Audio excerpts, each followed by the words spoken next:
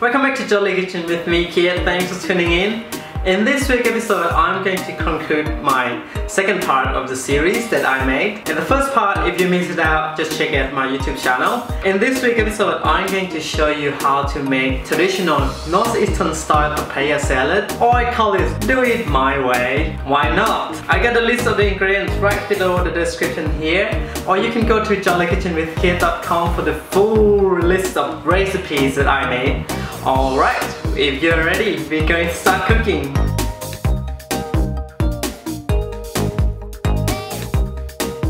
So let's go right over here.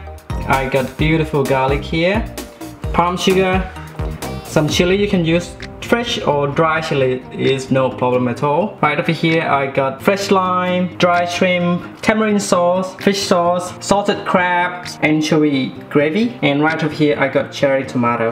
And of course, right over here I got beautiful papaya, which I already sliced. Just use your peeler.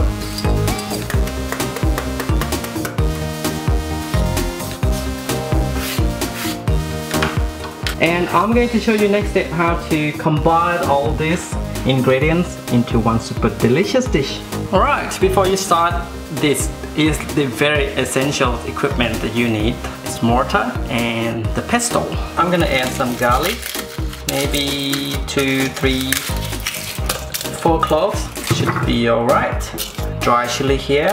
It depends on how much you like the spicy. I love it, so I'm gonna add quite a few of chili. Now, we're going to start pounding this stuff all together.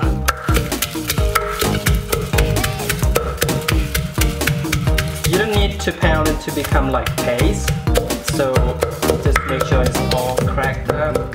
Cover the top up so then the chili seed won't fly into your eyes. That's about right. Now, I can see that the next part, what I'm going to do, I'm going to add anchovy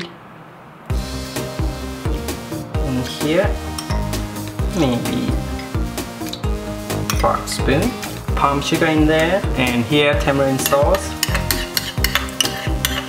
followed by fish sauce. Just add a little bit first. Grab off say piece of lime squeeze the juice in there and then I'm going to add a salted crab. Right I'm gonna start mixing these ingredients crushing all this palm sugar at this stage, you don't need to pound it, otherwise all the liquid ingredients will flying off everywhere. Now I think all the ingredients now well mixed. I'm gonna give a little bit of taste.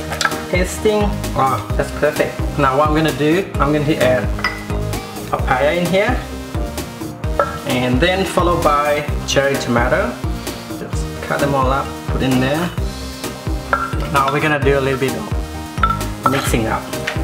So just gently move your pestle around and use a spoon to scoop it up. Alright.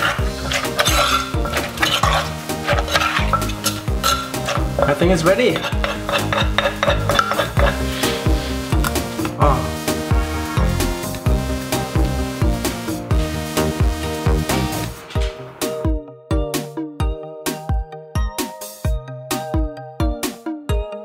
Alright, we have come to the final part of my two series. This is the papaya salad.